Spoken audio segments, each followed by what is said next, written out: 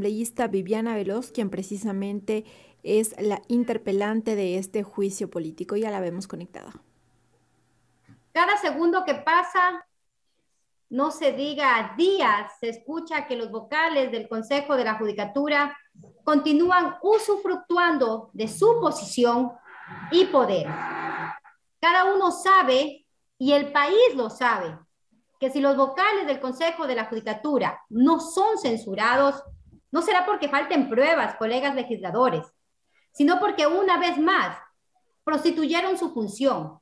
Ustedes, colegas, lo saben, que aquí, en los pasillos de la Asamblea Nacional, han existido ofertas de notarías, direcciones provinciales, gobernaciones e inclusive magistraturas. Cada vez salen nuevos audios que demuestran cómo los vocales de la judicatura que son cuestionados han creado un entramado repulsivo que pone a la justicia a su servicio y su propio beneficio. Pero sobre todo, cada día se siguen cometiendo atropellos, ilegalidades y actos de corrupción en el Ecuador y dentro del sistema de justicia. Por favor, señor presidente, pido le autorice a Secretaría eh, unas imágenes y un, un video que he enviado para que reproduzca. Señor secretario, de paso, por favor.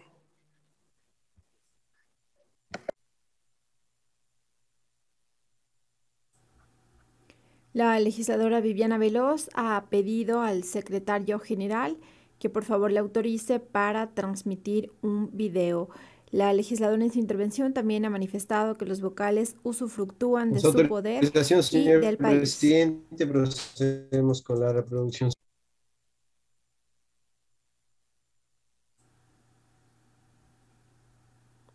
Esperemos que pueda ya solventarse esta falla técnica para que se pueda reproducir el video solicitado por la asambleísta interpelante de este juicio político, la legisladora por Santo Domingo, Viviana Veloz. Con esta sería ya la décima intervención en esta sesión que se conoce el informe de posturas de la Comisión de Fiscalización dentro de este proceso de sustanciación de este pedido de juicio político en contra de la expresidenta del Consejo de la Judicatura y de tres vocales a quienes se los acusa de incumplimiento de funciones. Recordemos que es en esta sesión también en donde se tomará una decisión, ya sea del archivo de este trámite o para que éste también pase y se conozca en el Pleno de la Asamblea Nacional. Ya vemos que al parecer se ha solventado este problema técnico, no todavía, para que se pueda proyectar este video solicitado por la asambleísta interpelante Viviana Veloz. Vamos a nombrar el Corte Nacional, al menos a 20 personas. Y ahí sí ya suena. Ya suena. Entonces, eh, estoy pidiendo financiamiento. Esperemos que salga bien, pero yo no quiero irme más allá de mediados de junio, ya, eh, o sea, ya que convoque, porque no voy a alcanzar a, a tener. Mi idea es en diciembre y estar designando jueces, de, jueces y con jueces.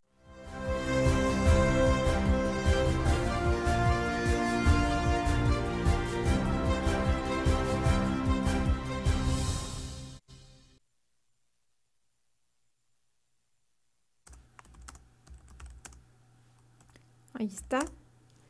Se ha terminado este video eh, donde se podía escuchar a uno de los vocales del Consejo de la Judicatura, que fue un video solicitado por la asambleísta Viviana Veloz. Señor secretario. Pues... Señor presidente, tenemos unas imágenes además que han sido remitidas por la asambleísta Veloz.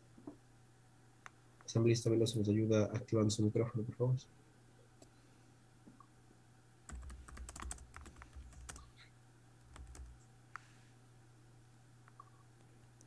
Estamos a la espera de Muchas gracias. Se me había apagado el micrófono, creo que por parte de, de Secretaría.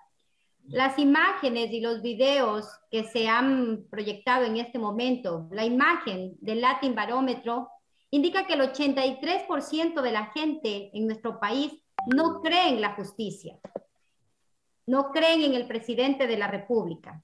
Y la inseguridad, colegas legisladores, que vivimos hoy en día, sin fiscales, sin jueces, sin defensores públicos, sin papel para imprimir, es solo un pálido reflejo de cómo se encuentra la función judicial. Claro, sin dejar de lado la carente implementación de una política pública real por parte del Ejecutivo, que como gran cosa quiere plantear una consulta popular con temas de seguridad ciudadana en el país. Señor presidente, le respondo y nos ahorramos al menos 43 millones de dólares. Sí, los ecuatorianos esperamos que usted desarrolle políticas públicas efectivas y eficaces que tutelen nuestros derechos. Lo obvio, no se pregunta. Pero eso no significa que otra vez vamos a caer en la trampa de la consulta, porque con actuaciones como la suya y de sus adonoren y actuaciones como las de esta asamblea, el país va a decir fuera todos y que nos vayamos todos a la casa. Este pleno está obligado a conocer y resolver acerca de si continuamos o no con este juicio político a los vocales de la judicatura, ya que el presidente de la Comisión de Fiscalización se encontró con el rechazo de seis legisladores que no comparten su criterio para archivar este proceso de juicio político. Un informe sesgado por vendetas políticas permitió y dio rienda suelta también a casos judicializados y sentenciados que nada tienen que ver con el incumplimiento de funciones de los vocales Murillo, Morillo y Barreno y la expresidenta María del Carmen Maldonado. Para quienes aún no lo tienen claro, no estamos juzgando a los anteriores consejos de la Judicatura o a la justicia desde que inició la vida republicana en el país. Se señaló y se probó que existió y aún existe incumplimiento de funciones por parte de estos malos funcionarios. El legislador Villavicencio ha denunciado incluso actos que manchan aún más el accionar del Consejo de la Judicatura. Y esos aparentemente sí valen. Pero una sentencia de la Corte Constitucional, emanada por el máximo órgano de Administración de Justicia Constitucional, que declara la inconstitucionalidad por el fondo a su reglamento y como consecuencia deviene en ilegal un concurso que, por cierto, le costó la plata a los ecuatorianos, votada en un concurso mañoso. Ahí no se encuentra incumplimiento de funciones. Eso sin contar con las más de 100 pruebas testimoniales y documentales que se presentaron en la etapa correspondiente. Pruebas hay, colegas legisladores, pero lamentablemente para quien preside la comisión de nada sirvieron. ¿Por qué será? No sé, esta es para mí, colegas, la primera vez que intervengo en política y cuando encuentro actuaciones como las de los vocales del Consejo de la Judicatura, no hago otra cosa que sentir decepción. Por eso la gente dice que en política todo puede pasar y que aquí en esta asamblea se tuesta granizo. ¿Acaso no nos avergüenza a nosotros los audios que escuchamos? Aquí todos sabemos que han incumplido la constitución y en la ley pero en lugar de actuar con coherencia, están calculando. El país sí sabe la vergüenza que es la justicia. Mientras aquí se calcula en esta asamblea, el país sufre las consecuencias de las actuaciones ilegales del Consejo de la Judicatura, de su falta de capacidad para nombrar fiscales, jueces y defensores públicos, aunque sí se prestaron para las venganzas y consignas políticas y destituyeron ilegalmente jueces de la Corte Nacional y nombraron a dedo a otros. Y eso nos va a costar al país. Es decir, hay incluso consecuencias de sus ilegalidades, de las ilegalidades de los vocales de la judicatura. Pero es lamentable que el presidente de la comisión los haya absolvido en ese informe. Espero que esta asamblea demuestre que no es una feria y autorice el enjuiciamiento y demostraré el día del juicio su incumplimiento con el sustento y con las pruebas. Además, de este informe, que para mí es sesgado, da pena ver también cómo se tapan los ojos. Y no hay peor ciego que el que no quiere ver. No le sirvió de nada la sentencia de la Corte Constitucional. No sirvió el informe emitido por la Contraloría General del Estado. No sirvieron las resoluciones del propio Consejo de Participación Ciudadana y Control Social Transitorio, puesto por ustedes. No sirvió el informe de la Contraloría General del Estado, que era vinculante y obligatorio. No creyeron tampoco en los informes de la Dirección de Asesoría Jurídica del mismo Consejo de la Judicatura. no fueron suficientes los pedidos de la señora fiscal general de la Nación exigiendo se realicen los concursos para cubrir la necesidad de más de 400 fiscales. Tampoco les bastó que la Comisión Nacional Anticorrupción, que por cierto es anticorreísta, haya denunciado la falta de transparencia, seguridad jurídica en el proceso de selección de jueces de la Corte Nacional y que se haya retirado de la veeduría. Como interpelante, afirmo que los vocales del Consejo de la Judicatura incumplieron funciones.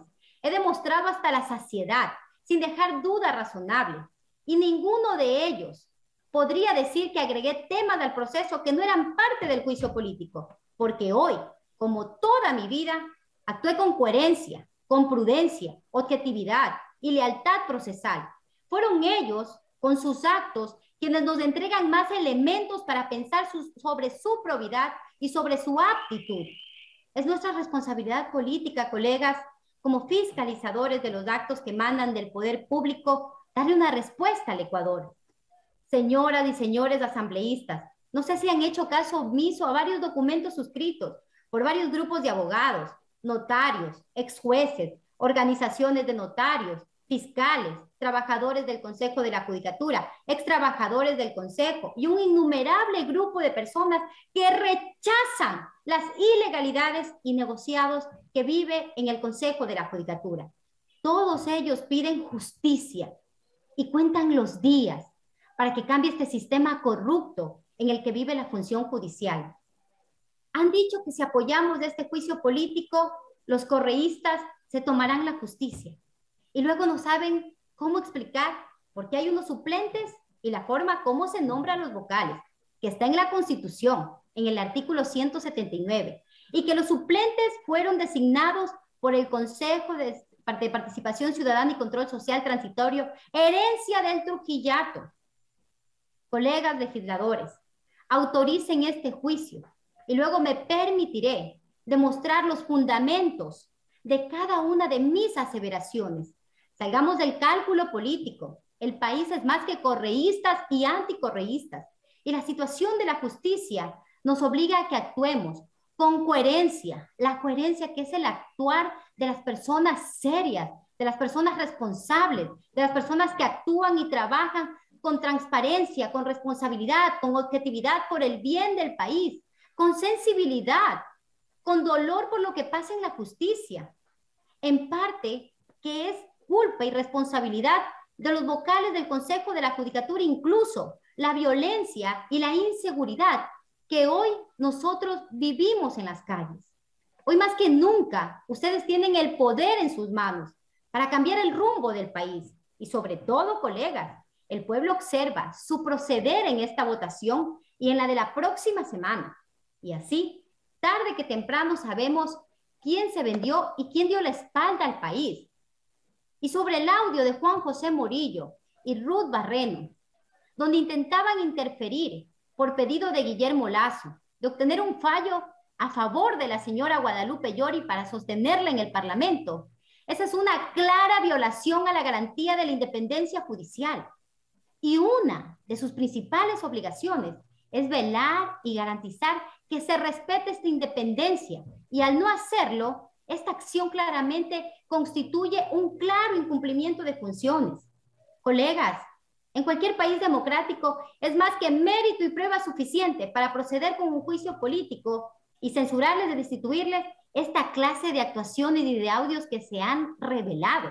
Y en cualquier democracia donde existan medios independientes, ya habría significado un terremoto mediático. Pero aquí en el Ecuador estamos cayendo en estas acciones y naturalizando la corrupción, tanto que nos reímos de nuestra mala suerte. Y ya sé que van a decir, los audios no son, no son materia de este juicio político. Sí, no están dentro de este proceso porque se revelaron después de haberlo presentado, pero constituyen mérito suficiente también para que esta gente sea censurada, sea destituida y sea separada de sus funciones. Y no solo eso, no solo tienen que ser sujetos de este control político dentro de la Asamblea, sino que también deben ser denunciados en la Fiscalía General del Estado, porque las denuncias de corrupción no vienen solo de ahora, nacen desde el año 2019, cuando María del Carmen Maldonado y Ruth Maribel Barreno pretendían vender las notarías a 120 mil dólares. Denuncia que se encuentra ya en la Fiscalía General del Estado y que desde esa época se ha quedado guardada en el cajón de la señora Fiscal General de la Nación. Estos actos de corrupción también tienen que ser sancionados por la vía de la justicia ordinaria en el ámbito penal, con todo el rigor de la ley, caiga quien caiga. Culmino diciéndoles, compañeros, que no podemos dar la espalda a las necesidades de la gente y que este es el primer paso para recuperar la institucionalidad del sistema de justicia. Muchas gracias. Asambleísta Manuel Medina tiene la palabra. En estos minutos se prepara entonces para intervenir en este pleno de la Asamblea Nacional el asambleísta Manuel Medina. Corresponde a la intervención número 11, décima primera intervención en este proceso de